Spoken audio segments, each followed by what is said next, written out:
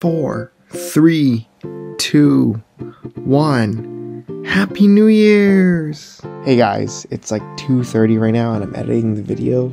I thought it'd be cute to have a video up for you guys when you wake up. If you want to brew along with your first brew of the year, this is it. If you guys hadn't noticed yet, I'm just at home and I don't even have a grinder, so I'm using pre-ground coffee. It's kind of like whatever, it's just chill. First cup of the year.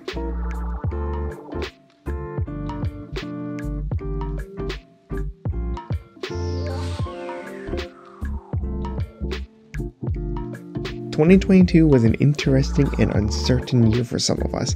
I personally had great growth, but still a very tough year. That being said, tough years are really great for reflecting and growing, so 2023, I've planned a lot. I kind of reflected a little late in the year, but hey, better late than never, right? I personally want to push for a new movement in the coffee industry, not just with brewing ideas or understandings, but bringing in a new kind of coffee shop model.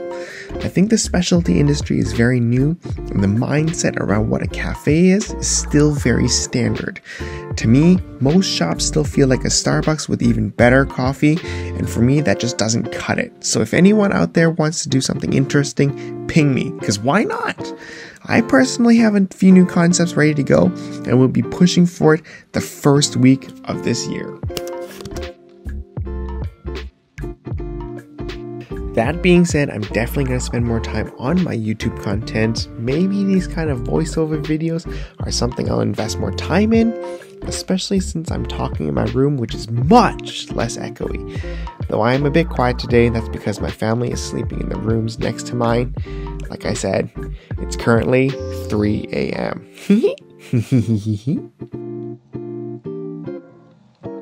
I hope you guys have a great first cup of the coffee of the year. I sure had fun making mine. Clearly, I didn't know what I was doing, and you'll see in a sec. I'm half tipsy while filming this. The grounds clearly aren't fully extracted, seeing as how there are grinds on the wall, but hey, hope you guys enjoyed this.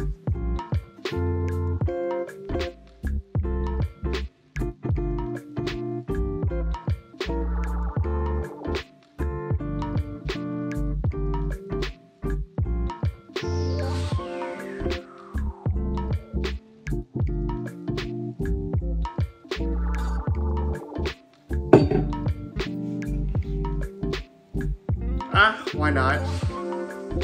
I figured, what? Why can't we have coffee and champagne together? Happy New Year's, guys.